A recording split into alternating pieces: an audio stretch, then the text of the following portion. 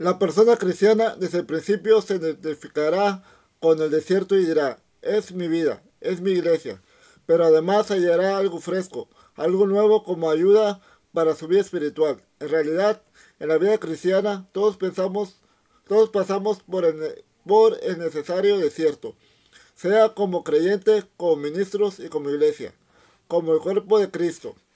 El cúmulo de experiencias y vivencias espirituales y ministeriales el autor de este video tiene revelaciones espirituales que nos dan claves muy importantes para pasar con éxito el desierto del mundo en el cual estamos transitando y llegar al cielo prometido por nuestro Señor Jesucristo. Aprendemos que hay que vencer en ese peregrinar. Para el vencido no hay nada. Este video no es propiamente un estudio bíblico. Es una, es una percepción espiritual de lo que verdaderamente es la vida cristiana. Como dijo el Señor, en el mundo tendréis aflicción, mas confiad, yo he vencido al mundo. Juan 16, 33.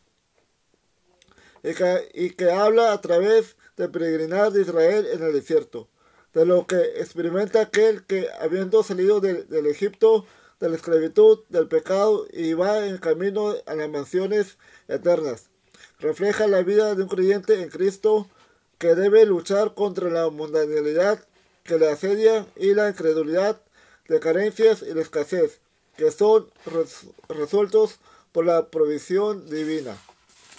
La historia de un pueblo escogido, liberado, pero a la vez atrapado en el desierto, de este pueblo aprendemos de su fracaso. Sin duda que al ver este video recibirá usted una gran ayuda espiritual para que no suceda lo que dijo el apóstol Pablo.